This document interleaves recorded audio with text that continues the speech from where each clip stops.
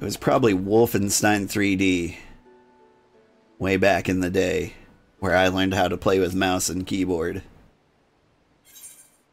Simpler times they were. Much and more has occurred since uh, first I beheld Eorzea from from the galleon's deck. Suffice to say, I did not envisage being invited to play a part in your noble struggle. But forgive me, I have kept you over long. Doubtless you have pressing business of your own.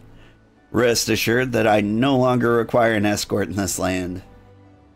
When you next meet Lady Minfilia, pray relay to her my humblest thanks would that I could do so in person, but I must needs fulfill the promise, my promise, to the Admiral. Till we meet again, Warrior of Light. Hawkeye. And finally, back to Revenant's Toll. Rip.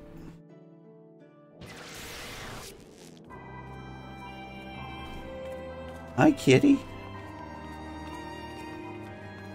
Uh, this one.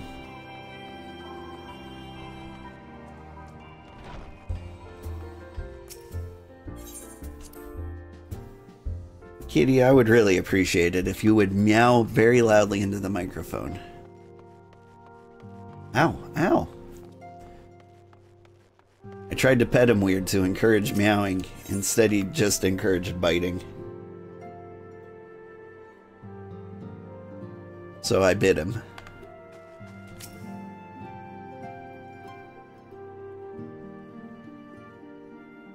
Have been reflecting upon the events which took place during our visit to Vylbrand. If you have a moment, I would share my conclusions with you. Please, bear with me. When the Sahagin Elder summoned Leviathan, he employed the power we have come to know as the Echo. Though I cannot well explain the how of it, it would seem he became immortal in so doing. When the Admiral subsequently slew him, his spirit emerged from his lifeless flesh, a consciousness shorn of physical form. Thus transfigured, he took up residence in the body of his minion with the ease of a man donning a favorite glove. Long have I known that the Echo allows one to pass through the walls of a man's soul. But never did I imagine that it could free us from our own flesh, nor less that our souls could then occupy the next corporeal vessel to take our fancy. It was of this that Elidibus spoke, an existence which knows neither cessation nor oblivion. And yet, though the Sahagin had mastered his gift and thereby become immortal, he was by no means invulnerable. As we both bore witness, he was ultimately absorbed into Leviathan. And the import of this observation? If the Ascians' mode of existence is indeed the same, it can be inferred that they too are not invulnerable, that they can be destroyed. This is what happens when you drink a Fantasia potion. You actually die and then your soul takes over another living person.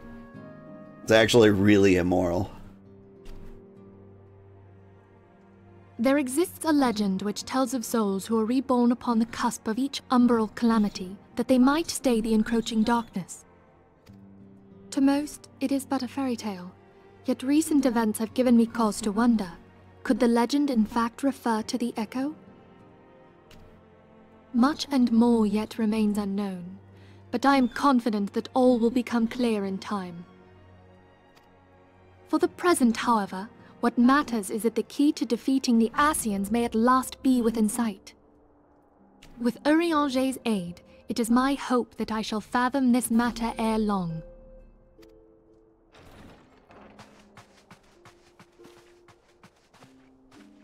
Oh, I was just about to send for you, my friend. Is Otomis? Grave tidings from the Sharlayan motherland, my lady. It doth concern our distant allies, the students of Baldesion. What of them? My lady, The Isle of Val, which for many years hath been the Order's home, is no more. No more? Whatever do you mean? I relate only that which hath been conveyed unto me by our agents. An etheric wave of the highest magnitude was recorded in the region. Soon thereafter, 'twas observed that the isle had ceased to be. Neat. 'Tis postulated that a magic was evoked, like in power to Ultima.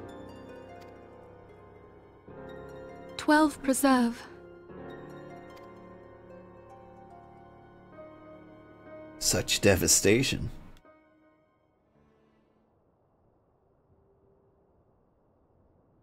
If there are no other matters, I move that today's meeting be adjourned.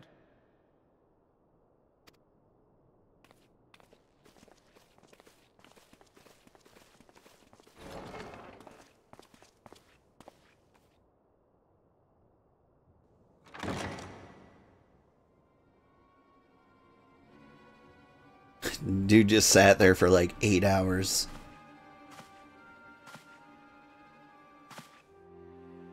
It is done, my lord. I. Forgive my impertinence, my lord, but these orders.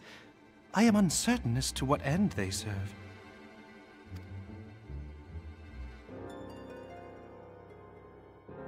Revolution.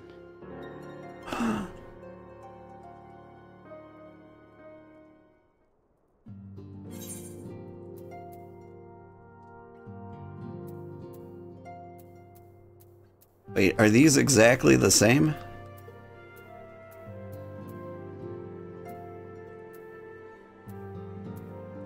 You just get to choose between strength and dexterity?